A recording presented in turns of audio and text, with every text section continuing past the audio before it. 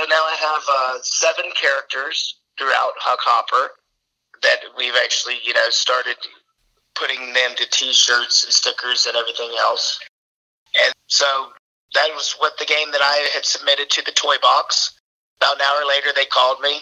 They wanted me to come to Hollywood, send me a plane ticket, and then I competed on the toy box. Welcome to the Invention Stories Podcast, where we share stories of inventors who turn their idea into a product. Please visit our website at www.inventionstories.com. And now, from the Invention Stories Podcast World Headquarters Studios in Morro Bay, California, is our host, Robert Baer.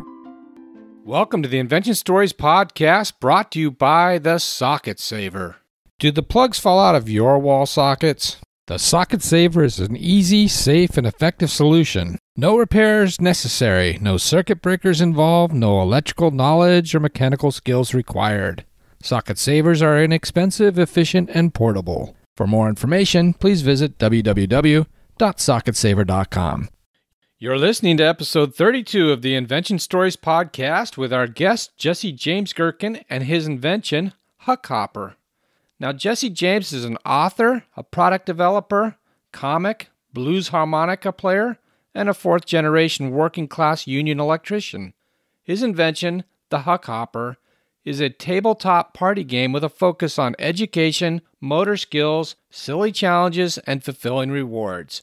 And the best part, Jesse James created Huck Hopper with his 10 year old daughter. My name is Robert Baer, and I'm your host, and I'd like to start off by saying how awesome I think this is. I mean, father and daughter inventing together, wonderful. To purchase or for more information, please visit www.huckhopper.com. Now we've got Jesse James on the line from West Virginia. So let's get started. Welcome, Jesse James. Now, I looked at your uh, LinkedIn profile and it says you're an author, a product developer, a comic, uh, a blues harmonica player, and a fourth generation working class union electrician. What out of all of that do you enjoy the most? Uh, probably the blues, man, part, honestly. I love, love doing the blues. Okay. I've traveled all over the country playing blues, and I've met a lot of famous people doing it. It's just it's exciting. Do you go by Jesse or Jesse James? And how did you get named Jesse James? Is that a silly question? No, well, it was supposed to be Huckleberry again to the Huck Hopper aspect, and then uh, my mom and dad went back and forth over it, and they finally agreed if they were going to give me a cool original name, then it would end up being Jesse James. So yeah, that's why everybody knows me as Jesse James. All right. Well, what kind of kid were you? I was what they would call the uh, rich boy.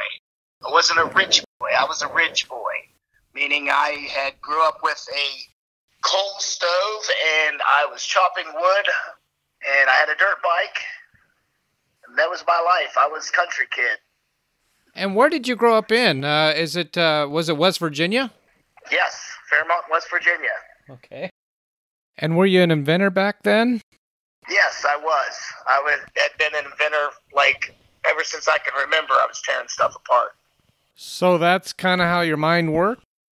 Yeah, uh, exactly. All right. And so your family, your dad, grandfather, and great grandfather, they were all electricians. So you thought that was just sort of like in your blood?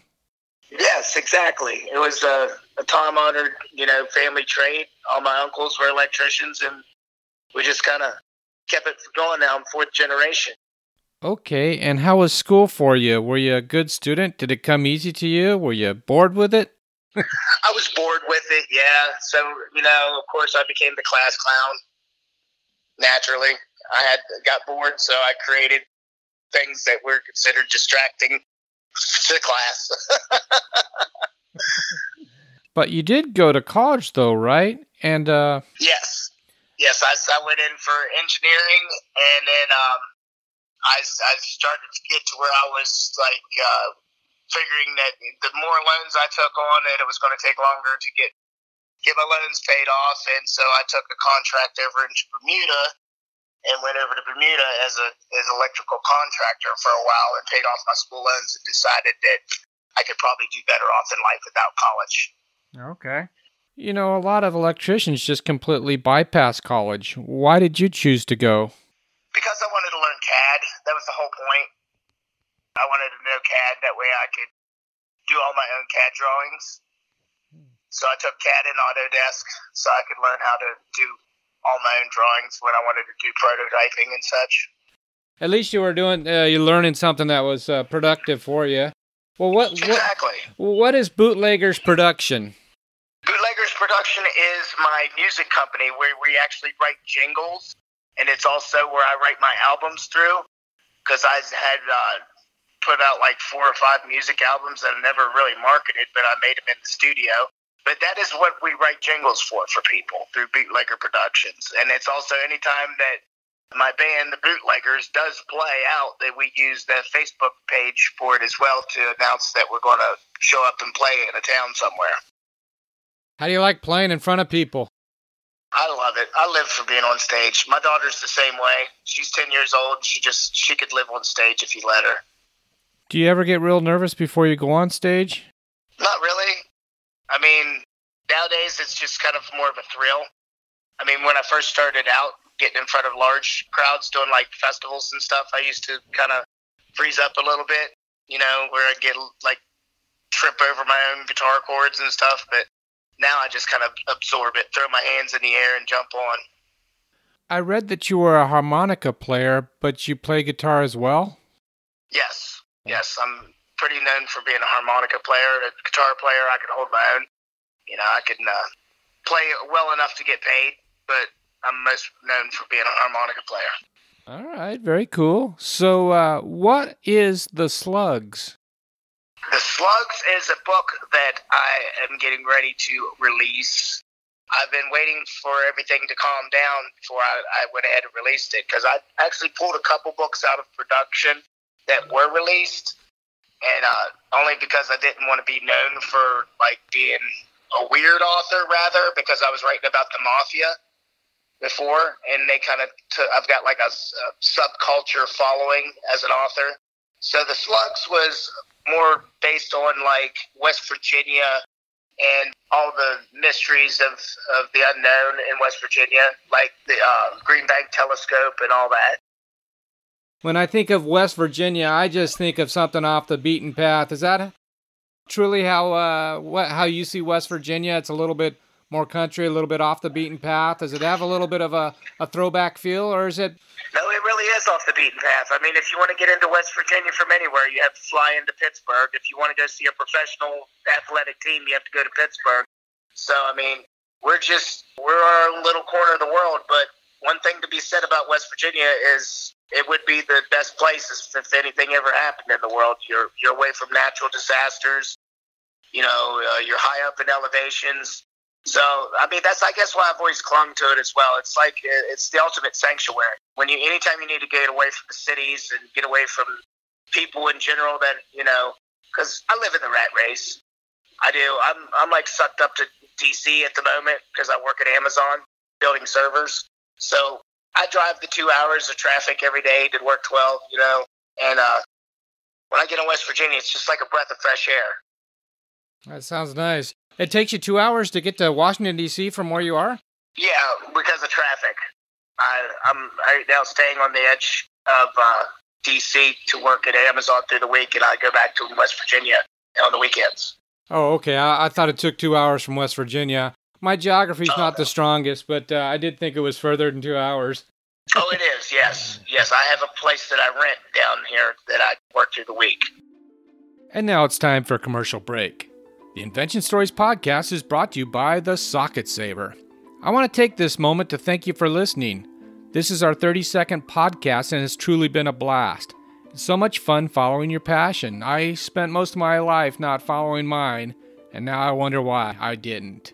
I encourage everyone listening to follow your passion in 2018. If you've been thinking about podcasting yourself, I say go for it. And when you do, drop us a line and we'll give you a shout out on the show. You know, you don't have to have a series, you could just produce one or however many you like. All you need is a computer and you can download free Audacity software. The only thing you need to buy is the microphone. And what we use and recommend is the ATR 2100 by Audio Technica. I think it sounds great and it's about $70. If you would like to purchase it while supporting the Invention Stories podcast, please go to www.inventionstories.com forward slash ATR. What is Hillbilly Edison? Hillbilly Edison is a up and coming licensing company.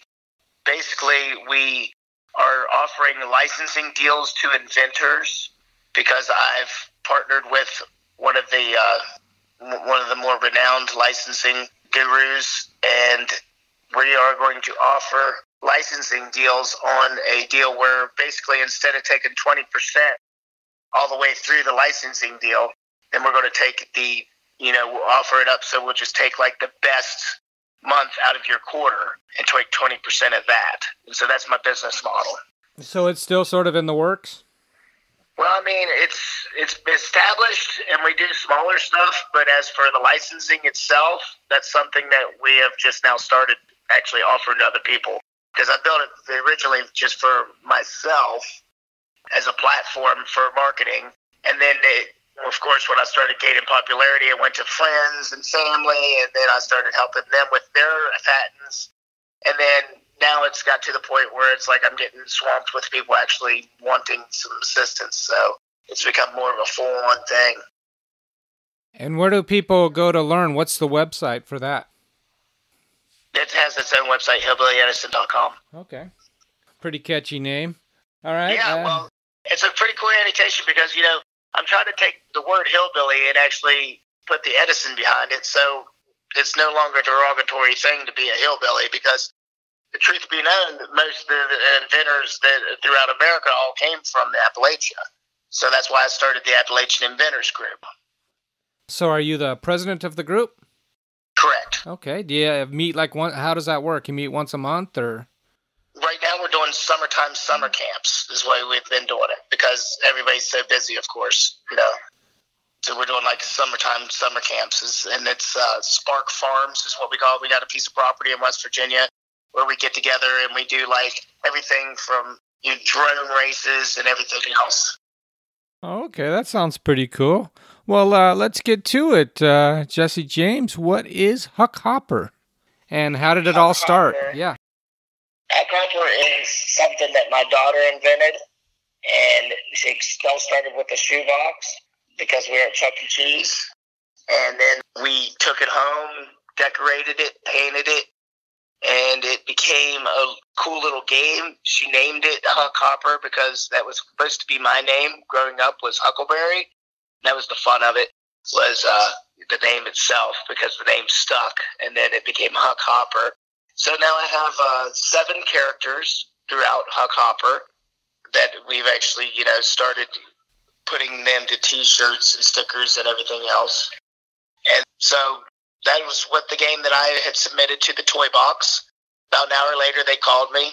They wanted me to come to Hollywood, send me a plane ticket, and then I competed on the toy box. But you know, the thing was, is I was expecting the older judges that I seen on season one. So when I get out there, the judges were much younger than expected. So the the questioning was, of course, over their heads. So it was still a fun experience. I do believe I would have had a better chance if I would have known that I was pitching to younger kids. Has your episode been shown on TV? Yes, it had just aired three weeks ago. Okay, and uh, did you get some good hits on the website for that? Yes, we did. We've had a lot of positive response, and then um, you know we're getting ready to come out of the licensing agreement with Mattel meaning that I'm going to offer it to other companies. So I'm getting ready to pitch it to Hasbro next week. So you did you uh, you've had a licensing agreement then, huh? Yes, there was a preemptive licensing agreement that they made me sign with Mattel. That was it held me to 30 days past the airing of my show, and uh, luckily enough, they did not produce my product, which was great because I didn't really want the agreement to begin with, being that the numbers were so low. But I got the exposure out of it, and it gave me the publicity. So I'm going to move on with that and go right on over to Hasbro and compete against Hasbro's current game, Monkey Dunk, which is right in line with Huck Hopper. So we're going to go in competition with Monkey Dunk now. We're going to market. I've already got all my numbers. Uh, know exactly how much it costs to make it here in America, and I'm going to take it to them and say, here you go. You're the first one in line.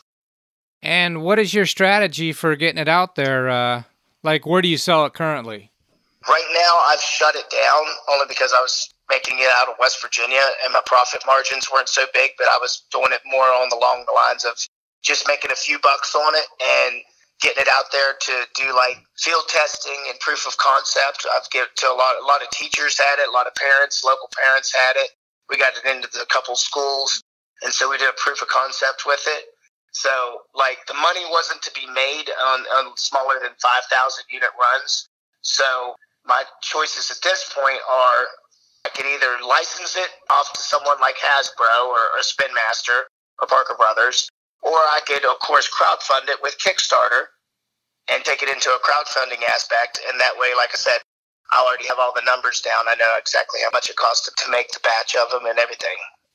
If you were to do it yourself, how what's your strategy? You know, to get it out there into the game shops and to to make it a household game. How, what's your strategy to do that? Well, if I do take the you know do it myself route, which of course everybody who's inventing knows that licensing is way to go. It's so much easier to let somebody else worry about the product liability insurance and you know return policies and if I wanted to do it myself, which really I'd rather license it, but if I did, then it would just be as simple as start a Kickstarter off.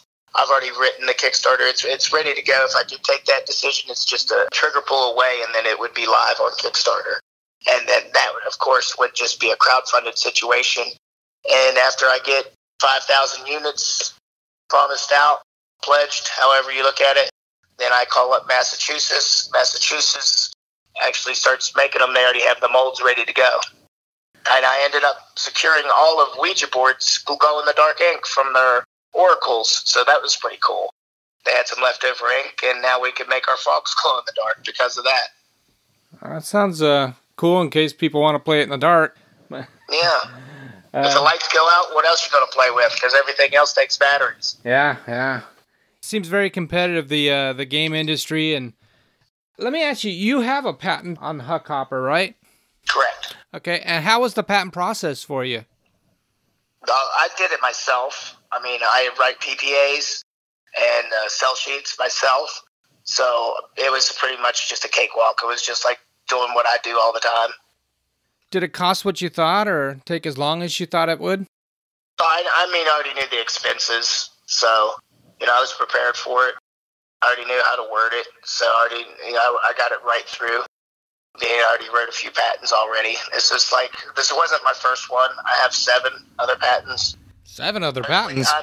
Yeah, I was in tools was my thing way before I ended up in games, and this was just kind of like, uh, you know, more of an ode to my daughter. We had the prototype sitting there looking at us. People were wanting it. People were wanting it, and they were like, "Okay, let's just try it." And we did, and it caught on, and they're like, "Okay, well, uh, we're on to something here." So you know, of course, me, I've got to put down all of my stuff because I'm over here building motorcycle parts and different tools and such like that. Man stuff. I've never really wanted to be a, a toy inventor. It just came upon me. Just the first one that hit, basically. As you've been working, what do you find is a good use of your time and money, and what do you find is like a real waste of time? A good use. I, am writing a book called "An Empire from a Cardboard Box," which is basically the, the fundamental approaching to inventing should be the cheapest mediums possible. If you can make it with a 3D printer yourself, if you can make it out of a cardboard box like what I had done, if you can carve it out of soap, either way you look at it, it's just so many people spend so much money thinking they need to make these perfect prototypes, these perfect working prototypes. And that's where I said pinch pennies because when it comes down to it, they don't want to see the utility patent and the perfect working prototypes. Yes, it's going to get your point across, but we're in this age now where you know we can do 3D printing, we can do 3D modeling. Anything that I wanted to show you, I can show you on a computer. It doesn't have to exactly have to be a ten thousand dollar prototype sitting on the desk in front of you. People can get their point across with a couple hundred dollars. Some cardboard and some paint go a long way. I like that. That's a that's some good thoughts because you're right. I, I listen to a lot of people and they spend a fortune prototyping, and I always wonder if they really need to spend that much money. What have you mastered, Jesse? I've mastered just that, which is simplifying the invention process. That's a good thing to master. Uh, I, I I try to think. I don't think I've mastered anything, but uh, what gives you hope? What gives me hope is being able to help others from falling into the grasp of what I call the sharks, which is these predatory people that are spending millions of dollars in advertisement, taking money from what would be inventors and putting a bad taste in these people's mouths to be an inventors. Because if you have one, you have many. If you're an inventor, you're an inventor of more than one thing. And that's what gets me upset is people jump into the ring, they they get all excited, they put their money on the line, they put their house on the line sometimes, and they get taken by these people. So my main passion, my movement is to make people aware that you can do a lot of this yourself and if there are things that you need to pay for, there are simpler ways to go about it. I mean, really, you can pay a college kid who's going through art school if you need somebody to draw something if you can't do it yourself. You can outsource through Craigslist. You can outsource through Fiverr. You do not need to pay the money that people pay these days. I, I hate the predatory uh, people that the ones that just they see the inventors as an easy mark and yeah. What would blow well, your? We are though because we're passionate about our stuff. I mean, I got taken in the beginnings. Everybody does. Yeah, yeah, that's true. Everybody does probably. I know I did. So, uh, well, what would blow Yeah, your well- what would blow your mind? I mean, it's What would blow my mind? yeah. Probably this little motorcycle safety part that I'm working on right now. That I, if it takes off, if it gets picked up by one of the major manufacturers, then it's easy street. Then I, I, I get to sit back and actually diddle with everything that I've ever done, and then help other people. You know, a lot easier because it won't it won't be on the sense of taken away from my time because I have more time available once I start getting the, the mailbox money. But that would blow my mind if I can get this motorcycle safety part to take. But right now, I've got to get it through some uh, some rigors of DOT testing. It has to hit through some DOT testing, some underwriters laboratories. If I get that finished and in, then you're going to see my name up in lights. It's coming. All right. Now, and then here's the final one. What change would you like to see in the world? the change that I would like to see in the world is people's perspective on inventing in that aspect. That they think that it all has to be secretive, that you can't really tell nobody. I mean, all you need is a non-disclosure agreement. and You can tell the key people that need to know.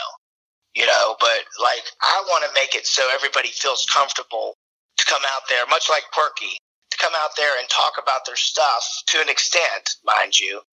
You know, but right now the world's getting so gun shy because there's so many people that are being predatory. You know, I'd like to see it where people feel comfortable about claiming to be a product developer, an inventor, or an idealist. Because nowadays it's something that people are almost ashamed to say because they think that that just says dreamer.